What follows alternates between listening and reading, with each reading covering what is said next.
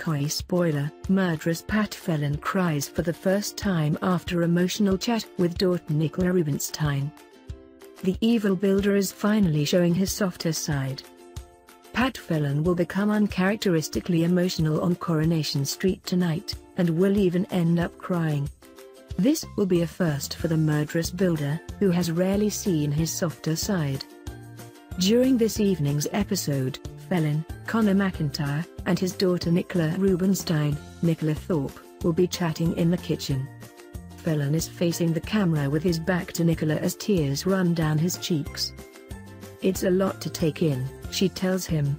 One minute you've got your dodgy mates stalking me and the next thing you're my dad. When he doesn't respond, she asks him, What are you doing tomorrow evening? After wiping away his tears, he turns around to face her and says, I've got no big plans. We could go out for a meal or something? She offers. Seb Franklin's key worker first stepped onto the cobbles in June and gradually got closer to the builder, with Eileen Grimshaw even suspecting they were having an affair. But it was later revealed that the pair were related. Actress Nicola previously said that viewers would see Phelan's softer side.